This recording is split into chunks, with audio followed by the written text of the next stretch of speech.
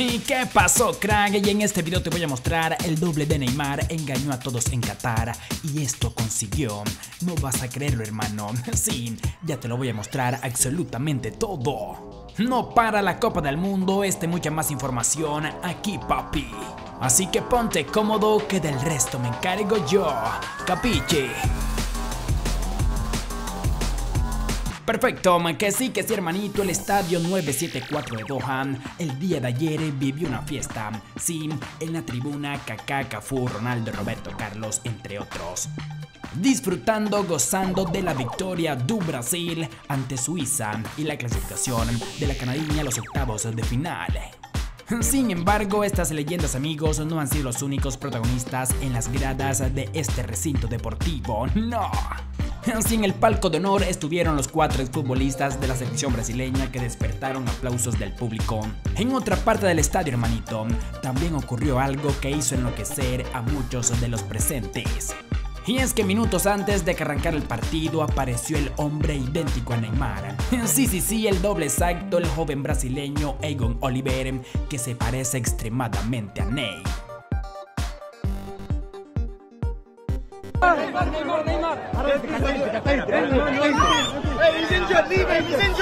Pintamos toda la casa y sin caer una gota de pintura, pero ¿qué haces?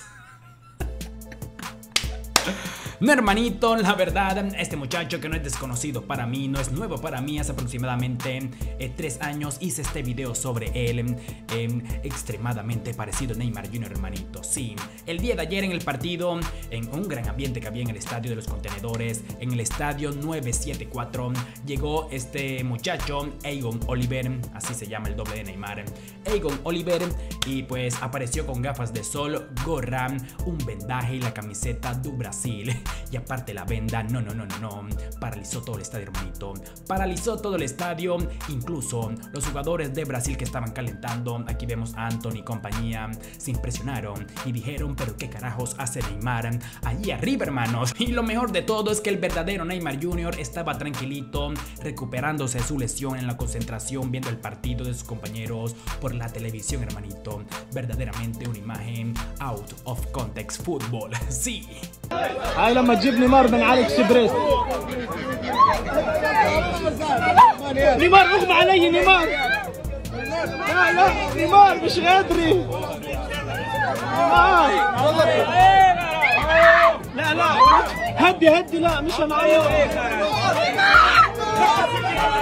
Que sí, que sí, repito, reitero, el doble de Neymar, aprovechando su extremo parecido al crack du Brasil, pues logró entrar al estadio con seguridad y todo lo demás. Sí, todos los, todos los aficionados normales entraban, pues eh, tenían que atravesar las vallas, los esquemas de seguridad, y él, aprovechando eh, su gran parecido a Neymar Jr., pues entró como un rey a los palcos, hermano. Miren. Miren, miren, todos querían un recuerdito, una fotito con Neymar Jr., varios asiáticos, varios árabes, pues confundidos claramente. Yo la verdad no me dejo, no me dejo confundir. Eh. Conozco muy bien a Neymar Jr. y hay algunos rasgos del muchacho que no me convencen. Sí, hermanito, pero bueno, finalmente, finalmente se dieron cuenta, pues, que era un falso Neymar, que era su doble, pues ya había, ya había sido visto en varias oportunidades por las calles de Qatar, por las calles de Doha, y pues fue retirado con el mismo esquema de seguridad, porque repito, reitero, había paralizado, un tumulto de gente estaba detrás de él, la seguridad estaba pues vigilando al muchacho y fue sacado por falso. sí.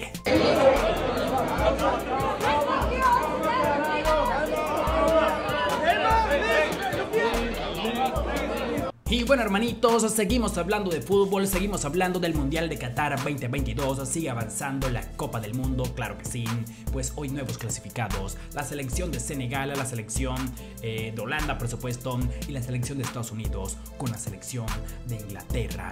Pobres ecuatorianos, la verdad me dolió mucho ver a Moisés Caicedo así. Mamita se me salió hasta la lagrimita cuando pues presencié ese llanto inconsolable de este muchacho que es una estrella. Te deseo lo, lo mejor Moisés Caicedo porque aparte de tu humildad Chapó.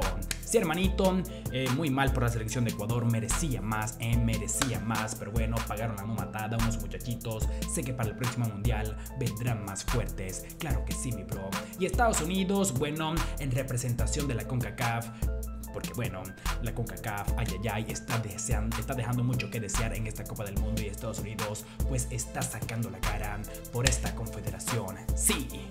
Y miren amigos, esta foto de Karim Benzema con maletas y el 974 nombre en los estadios de Qatar ha creado algo de confusión, pero lo cierto es que el delantero se ha ido una semana en vacaciones a un lugar secreto. Que sí, que sí, después de que su sueño de la Copa del Mundo se viera frustrado por una lesión de entrenamiento en vísperas del torneo, pues Karim decidió irse a tierras lejanas. Didi de Jams ya ha dicho que no tirará de él para el resto del mundial y bueno, según el medio de noticias, el equipo Benzema fue fotografiado llegando a la isla de la Reunión en el Océano Índico y pasará allí una semana antes de volver a entrenar con el Real Madrid. Pero atención amigos, atención si Benzema se recuperara milagrosamente por completo antes de que finalice la Copa del Mundo, es posible que The Yanks pueda llamar al delantero, ya que todavía está en la lista de jugadores registrados para el torneo. Sin embargo, reitero, The Yanks ha revelado que en este momento no piensa en Benzema.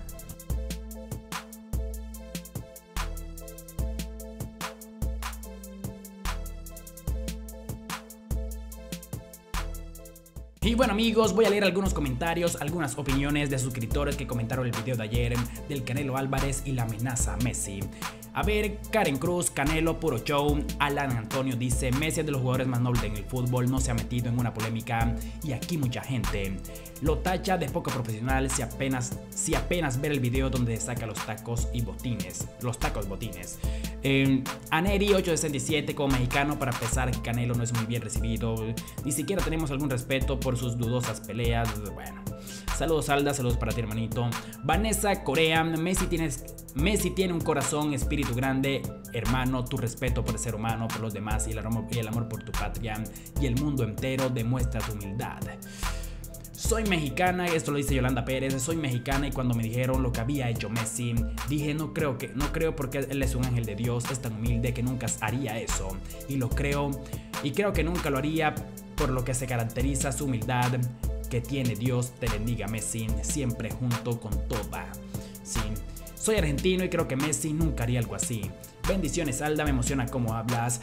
Muchas gracias, cariño. Nivia Magnolia. Irán Bello Gorduño, Canelo es un peleador y Messi un futbolista que expresen lo que saben hacer. Soy mexicana, pero todos sabemos que Messi solo se quitaba el botín y este mundial que sea tuyo. Que así sea, que así sea. Ángel Valencia, soy mexicano, pero tienes razón, carnal. Saludos, Messi y Neymar son cracks. Saludos desde Guatemala, activo Salda, Dios te bendiga junto a tu familia. Muchas gracias, Manuel Molina. A ver, saludo Alda, totalmente de acuerdo contigo. Es una tontería que que se ve a leguas que Messi hizo ese movimiento para quitarse el guayo. No se ve la intención de patear si fuera así, lo hubiera pisado. Totalmente. Así como Canelo amenazó a Messi, yo amenazo a David Fighters. Bueno, eh, a ver, mmm, vi el video, pero Messi no pisa la camiseta ni tampoco limpia el piso. Eso es absurdo. Que digan que Messi pisó la playera no es verdad. Sí, estamos de acuerdo. La mayoría de los comentarios así a favor de Messi. Y es que fue clarito todo el episodio. Ya nomás, caso cerrado. Hasta aquí cerramos el caso del Canelo Álvarez con Messi. Y nos vemos en un próximo video porque mañana juega Messi. Nos vemos hasta mañana. Chao.